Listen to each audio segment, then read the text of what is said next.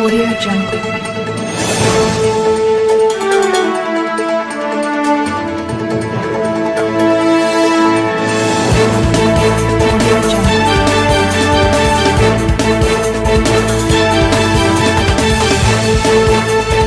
SKP seven news Muzaffarpur. Police ने 50 लाख की शराब की बरामद, चालक फरार। मुजफ्फरपुर में शराब बंदी के बावजूद शराब माफिया शराब मंगाने का अलग अलग तरीकों का इस्तेमाल कर रहे हैं। उनके इस करतूत को पुलिस भी देर सबेर समझ चुकी है। कुर्नी पुलिस ने गश्ती के दौरान बुधवार की देर रात एक कंटेनर से बड़ी मात्रा में शराब जब्त करने में सफलता पाई है। पुलिस का कहना है की जब्त शराब की कीमत 50 लाख रुपए की है। शराब जब्ती के बाद शराब माफियाओं में हड़कंप मच गई है। मामले में थाना अध्यक्ष शशि भूषण कुमार ने बताया कि बुधवार की देर रात्रि पुलिस गश्ती के दौरान पुलिस को सड़क से गुजर रही एक यूपी नंबर कंटेनर जिसका रजिस्ट्रेशन नंबर यूपी एटी पंद्रह सौ अठासी पर शक हुआ। पुलिस ने चालक को कंटेनर रोकने का इशारा किया। जब कंटेनर रुका तब पुलिस ने कंटेनर की जाँच की। जाँच करने के दौरान पुलिस कर्मी शराब देखकर चौंक गए। इधर पुलिस कंटेनर चालक को ढूँढने लगी, तब तक मौके का फ़ायदा उठाकर चालक भागने में सफल हो गया। पुलिस ने जब्त कंटेनर से 750 मिली का 425 कार्टन शराब जब्त की है, जिसकी अनुमानित कीमत 50 लाख रुपए बताई जा रही है।